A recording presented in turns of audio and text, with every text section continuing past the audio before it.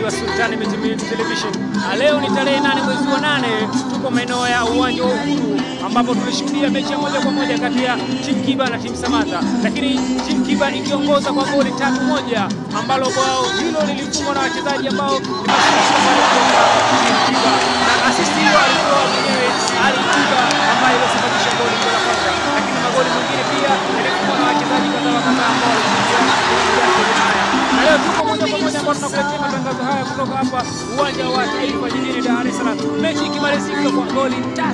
kwa moja ambapo timu Kiba leo alikuwa na usomo na kuhakikisha kwamba anapata pointi tatu, lakini kweli pointi amezipata na kweli mpira umemaliza salama salimini.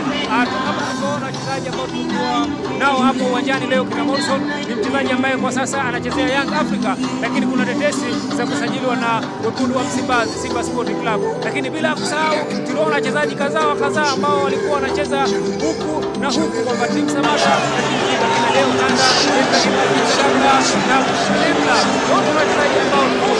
hapa tuwashuhudia, na kwa kweli leo burudani ilikuwa iko vizuri. Kwa hiyo endelea kusubscribe kufuatilia Sultan Media Television ili kupata update mbalimbali.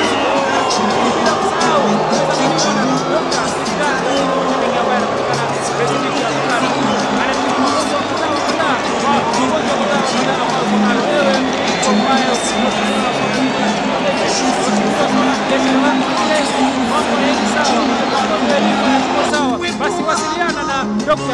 Tabibu Sultani Mitimingi ambaye anapatikana. Jina langu ni Samuel Bila Mliko wale. Kwaheri, asanteni na kwaheri.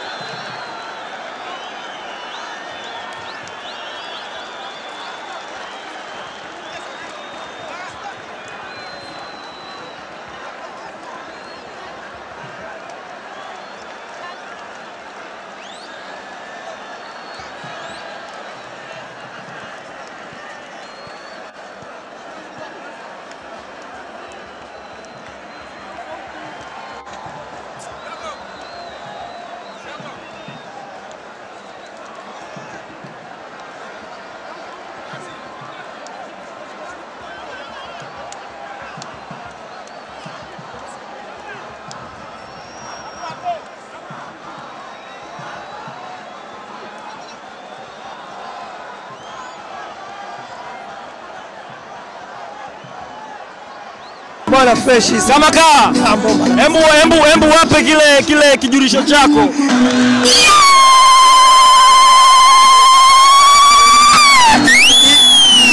Ina, ina, ina, inatosha sasa.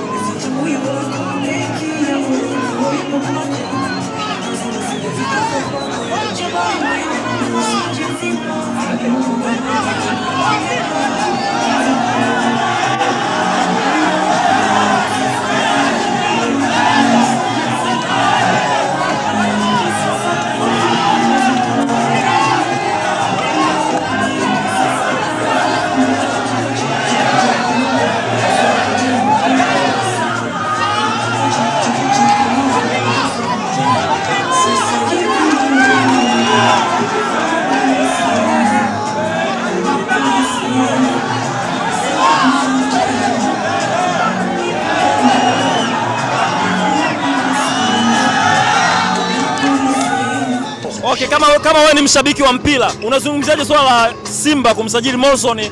Morrison ambaye alikuwa anaonekana na tabia mbovu kwa klabu yake ya, ya, ya Yanga. Unazungumziaje hili swala? Uh, Bernard Morrison uh, unajua ni kawaida katika hizi biashara za wachezaji eh? Ametoka Yanga amekwenda Simba, pengine kwa sababu ametoka Yanga amekwenda Simba limekuwa ni jambo kubwa, lakini hata huko Yanga amekuwa na mgogoro mkubwa sana eh, wa kinidhamu na viongozi wake, na amekuwa na drama nyingi ambazo wakati mwingine si za msingi sana. Yeye anajua kama mchezaji kwa nini anafanya yale. Anaposwap kutoka timu A kwenda B, tena timu hasimu, inakuwa ni stori kubwa sana, lakini ni usajili ambao unaweza ukafanyika kokote kule duniani. Tumeona hata kule England kuna wakati wachezaji wanaswap kutoka timu moja kubwa kwenda nyingine, na inakuwa ni stori kubwa sana, lakini mara chache usajili unaohusisha timu hasimu ama timu zenye upinzani wa jadi eh, ukawa ni usajili wa kawaida, ndio maana imekuwa ni tukio kubwa sana. So naona ni eh, usajili mzuri na Simba bab- eh, mchezaji mzuri. Baraka Mpenja, nataka tumalize hili moja tu. Eh. Naomba uwakumbushe sasa hivi watangazaji, chetu chetu tumewachetua Bernard Monson Ah, kidogo kidogo kidogo Mpenja. ile ni free kick inatengwa pale na yuko pale Bernard Morrison. Hebu tuone nini kitatokea. Mwenye macho ambiwi tazama, tazama hii ni Bernard Morrison BMW3 Bernard Morrison anasema nimewapa hiyo chetu chetu, tumewachetua. Wako wapi Simba? Sasa hivi wako wapi Yanga? Kwa heri.